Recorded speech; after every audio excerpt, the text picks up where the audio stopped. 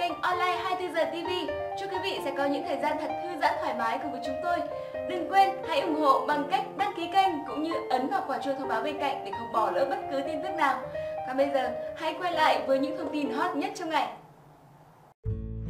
Trộm đột nhập lấy 5 tỷ nhân dây vàng kim cương của Nhật Kim Anh – dù nhiều vàng hộp xoàn Nhật Kim Anh để trên bàn nhưng kẻ trộm chỉ lấy tiền trong két sắt. Tháng 7 vừa qua, Nhật Kim Anh gây xôn xao khi chia sẻ biệt thự ở huyện Bình Chánh, thành phố bị trộm đột nhập, phá nát két sắt, lấy đi khoảng 5 tỷ đồng. Thời điểm xảy ra vụ việc, giọng ca lâu đài cát cùng người giúp việc đang ở Cần Thơ công tác. Chia sẻ với báo, phía Nhật Kim Anh cho biết nữ ca sĩ chuyển về nhà mới hồi đầu tháng 3. Đây là khu dân cư cao cấp có bảo vệ nghiêm ngặt, ai vào bên trong đều phải xuất trình chứng minh nhân dân. Sau khi trình báo cơ quan chức năng, kèm theo đoạn clip ghi lại toàn bộ sự việc kẻ trộm đã bị bắt, theo Nhật Kim Anh, cô không thể chia sẻ chi tiết vụ việc vì sẽ ảnh hưởng đến quá trình điều tra của công an. Những thông tin lan truyền trên mạng là không chính xác.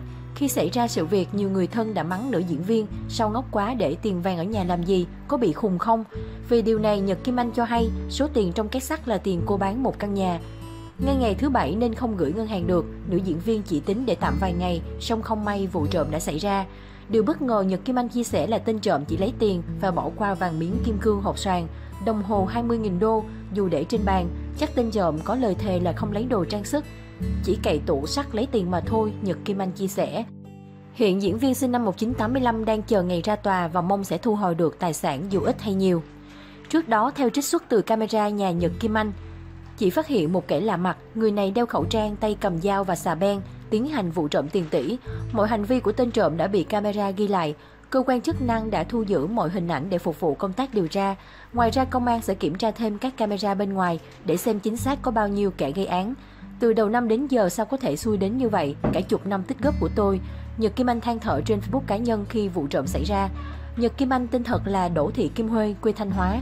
Năm 1992, gia đình Nhật Kim Anh chuyển từ Thanh Hóa vào Vũng Tàu để làm ăn, nhưng trên đường đi bị bọn hung đồ cướp sạch tài sản.